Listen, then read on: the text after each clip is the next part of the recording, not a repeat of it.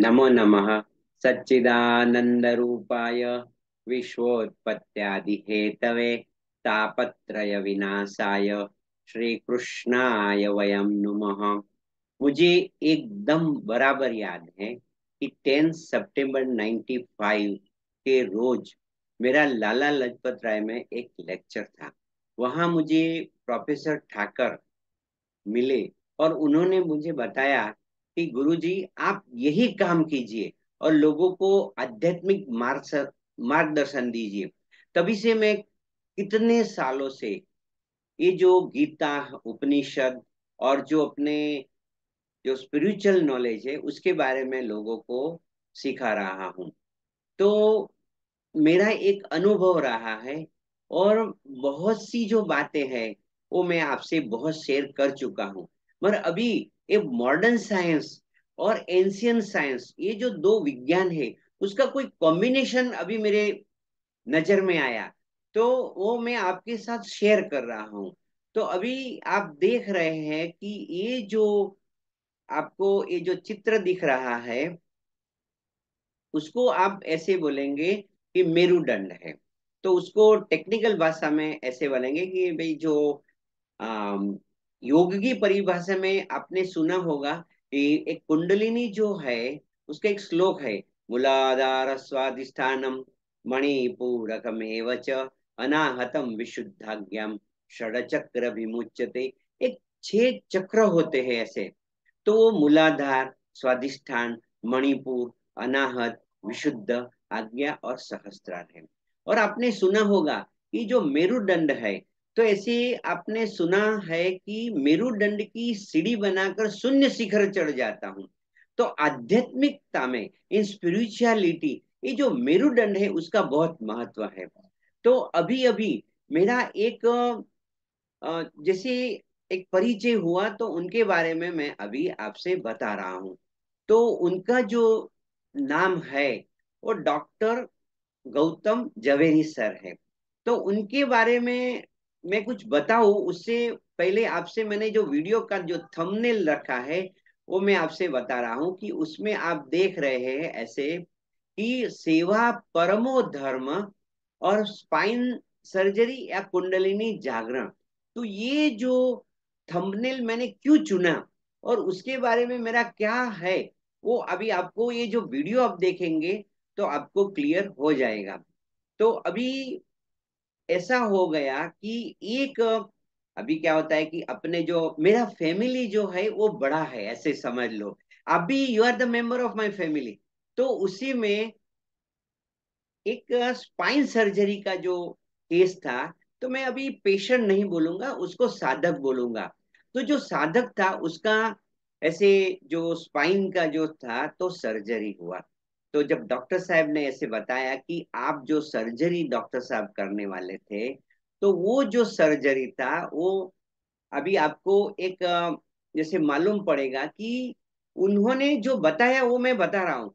तो क्या है कि सी टू और सी थ्री, अभी मैं तो आध्यात्मिक मार्गदर्शन देता हूँ तो टेक्निकल तो डॉक्टर साहब ही जानते हैं, पर वहाँ उन्होंने बताया कि वहाँ जो गुजराती में थापा बोलते हैं, ऐसा समझ लो, हिप वहाँ से एक हड्डी लेना है और फिर वहाँ सी टू या सी थ्री में वो लगाना है। ऐसा जो भी रहेगा, वो उनका विषय था। मगर ये बात सुनने से मुझे एक वो मेटाफर याद आ गया। तो अभी आप देख रहे हैं कि जो डॉक्टर साहब थे, उन्होंने तो वो मेडिकल बताया कि भाई, जो हिप से एक हड्डी निकालेंगे और थोड़ा ऑपरेशन की बात थी। तो उनका जो विषय है और अभी मैंने, मुझे जो याद आया तो मैं स्पिरिचुअल डायमेंशन से कैसे देखता हूँ, वो अभी आपसे बता रहा हूँ। तो अभी क्या है, ऐसे तो मुझे एक स्टोरी ऐसे सब लोग आपने भी सुना होगा तो मुझे एकदम बराबर याद आ गया। तो आपने भी सुना है तो मैं बताता हूँ। एक बार क्या हो गया कि शिवजी जो थे, वो ऐसे तप करने के लिए गए थे।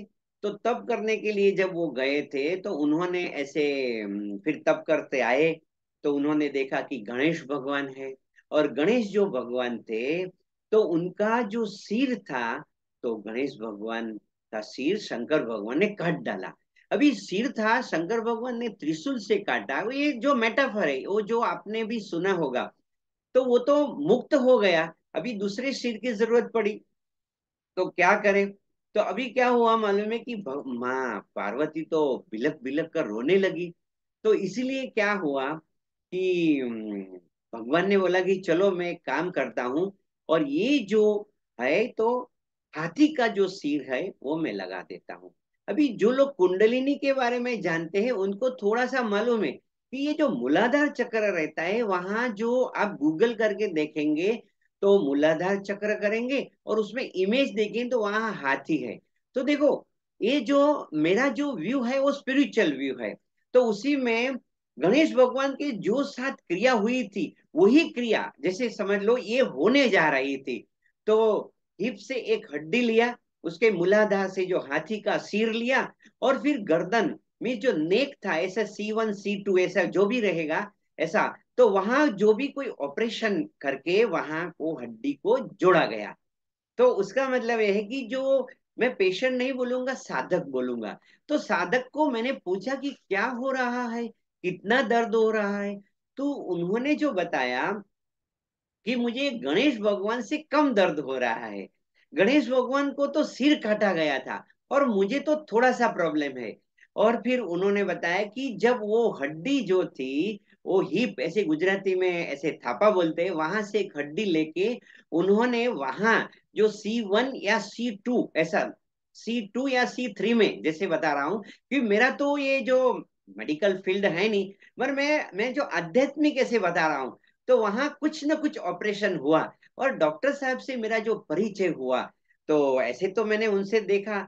तो उनका जो व्यक्तित्व था, उसे मैं बहुत प्रभावित हुआ। आपको मैं बता रहा हूँ कि जो डॉक्टर साहब थे तो उनका अभी आप देख लीजिए कि उनका जो चेहरा है तो जब वो ऐसे ऑपरेशन करने जा रहे थे तो आप देख रहे हैं कि उनका जो जो जैसे कितना कॉन्फिडेंस उनके ऐसे चेहरे पे दिख रहा है, उनका जो बॉडी लैंग्वेज है, उसमें एकदम कॉन्फिडेंस दिख रहा है। और फिर अभी जब ऑपरेशन होने के बाद अभी जब वो वहाँ से जैसे अभी क्या है कि आ रहे थे तो अभी आप देख रहे हैं कि when the operation is over तो ही इज़ मोर कॉन्फिडेंस क्योंकि ऑपरेशन उन्होंने मुझे बताया कि it the successfully they have done the operation तो अभी ये डॉक्टर साहब है, उनका जो नाम है डॉक्टर गौतम जवेरी सर है। तो मैंने उनसे देखा, वो अन्य डॉक्टर से बात कर रहे थे तो उन्होंने बोला, मैं इतना जैसे सर्जन हूँ इज़ द वेरी जैसे अभी क्या है, उसके बारे में मैं क्या बताऊँ तो वो वेरी फ़ेमस स्पाइन सर्जर है सर्जन सर्जन है। वो स्पाइन की सर्जरी कर रहे हैं। तो उन्होंने बोला, इतने साल से भी उनका अनुभव है तो भी वो फोर आवर्स स्टडी करने के बिना सोते नहीं है। देखो, उन्होंने जो बातचीत मैंने सुना, फिर वो जो दूसरे जो डॉक्टर्स थे तो उन्होंने बताया कि क्या आप स्पाइन के बारे में स्टडी करते हैं? तो उन्होंने बोला, नहीं नहीं, मैं किडनी के बारे में सोचता हूँ लीवर के बारे में सोचता हूँ और मुझे कुछ ना कुछ नया मिलता है। तो देखो, क्या है कि इस पतंजलि मुनि का जो सूत्र है, वो मैं बताता हूँ। उसमें है सतु दीर्घ काल निरंतरम सतु दीर्घ काल। जो सर है, वो दीर्घ काल से सतु दीर्घ काल निरंतरम निरंतर, सत्कार पूर्वकम सेवितम दृढ़ भूमि ही वो कर रहे हैं, उनका जो अभ्यास है, वो गहरा अभ्यास है। अभी ये जो बात थी तो मैंने अभी आपसे बताता हूँ तो ये जन्म, औषधि, मंत्र तपह समाधि या सिद्धय। पतंजलि मुनि का जो योग सूत्र है, उसी में जैसे कैवल्य पाद, उसमें लिखा है, जन्म से सिद्धि होती है। तो ये जो बात है, औषधि से सिद्धि की बात है, तप। और फिर जो ऑपरेशन हुआ था गले में, जैसे, ऐसे back side of the neck हुआ था और आगे से भी थोड़ा कुछ ना कुछ ऑपरेशन हुआ था।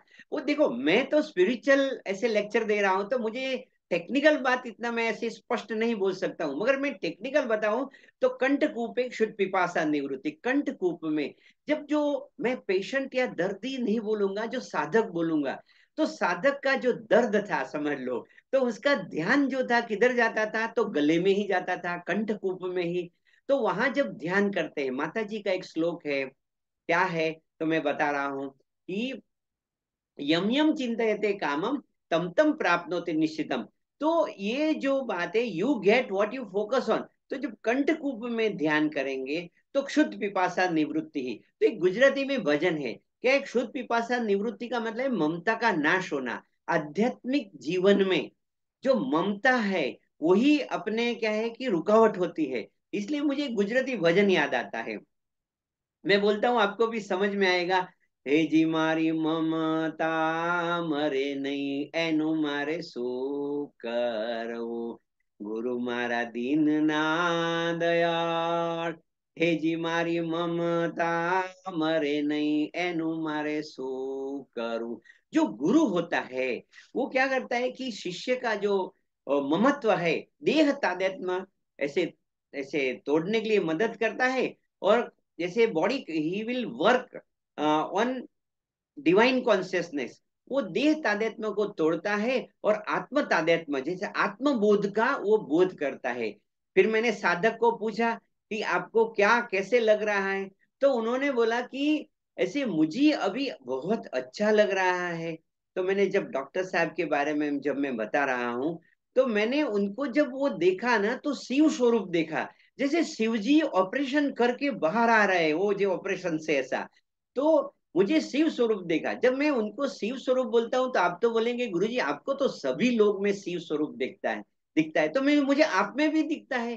देखो, आप कभी बोलते हैं, चिदानंद रूपम शिवो अहम शिवो हम देखो, छह तत्व होते हैं। इसमें एक जीव होता है और पाँच अजीव होता है। जैसे पुद्गल, फिर आप देखेंगे धर्मस्थिकाय अधर्मस्थिकाय फिर देश और काल। तो अभी ये जो काल है वो शंकर भगवान है ना तो बोलते हैं, काल से कालो हम तो ये जो उनकी जो बुद्धि है, अभी क्या होता है कि आपका एक मन होता है, फिर एक बुद्धि होती है, और डॉक्टर साहब की जन्मों जन्म की साधना होगी। वो पूरे दिन, मैं आपसे बता रहा हूँ कि उनके बारे में ऐसे अभी समझ लो, आप भी समझ सकते हैं कि वो स्पाइन सर्जन है।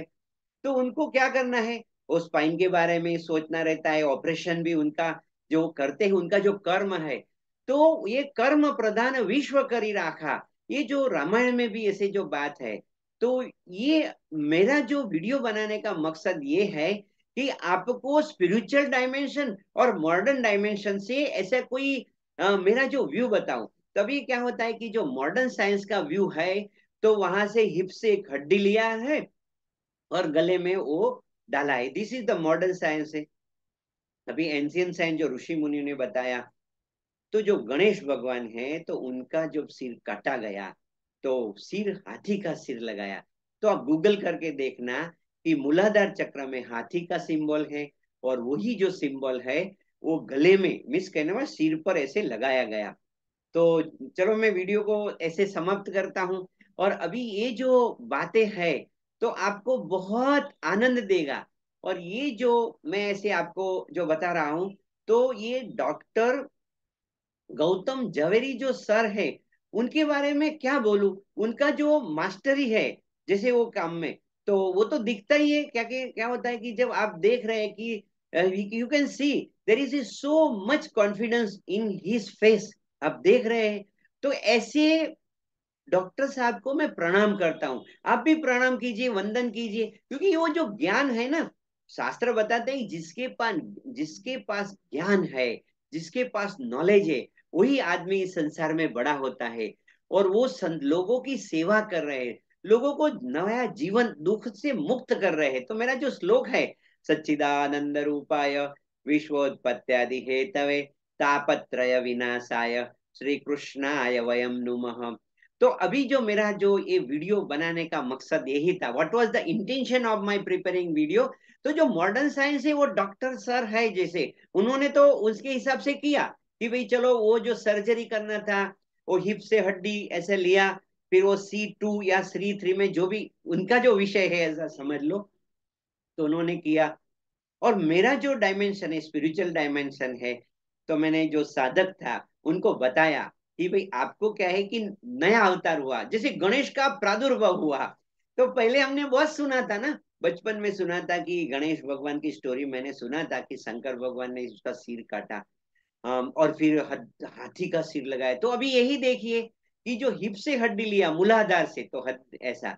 तो माय व्यू स्पिरिचुअल व्यू और डॉक्टर साहब है तो उनका तो वो देखो सर्जरी का विषय वो मैं उसमें कुछ बोल नहीं सकता हूँ। मगर उनकी जो बातें हैं, उनको जब मैंने देखा, ऐसे समझ लो तो मुझे लगा कि ऐसे जो महानुभाव है, लोग कभी कभी क्या होता है कि महानुभावों का मिलना ऐसे दुर्लभ होता है। शास्त्र बताते हैं कि सत्पुरुष संग मैं बहुत दिनों तक उनसे मिला, रोज मिला, सुबह और शाम मिला। तो मैंने देखा कि उनका जैसे आईक्यू होता है, फिर ईक्यू होता है और एसक्यू स्पिरिचुअल क्वेश्चन भी बहुत गजब का था। उनके अंदर जो प्रेम, जो करुणा और जो ममता था और पेशेंट के प्रति, जैसे मैं साधक बोलूँगा, उनके लिए पेशेंट होता है और डॉक्टर होता है, मेरे लिए साधक होता है। तो मैंने देखा कि जब साधक लोग जो थे, उनके प्रति अहोभाव रखते थे। तो चलो मैं वीडियो को समाप्त करता हूँ।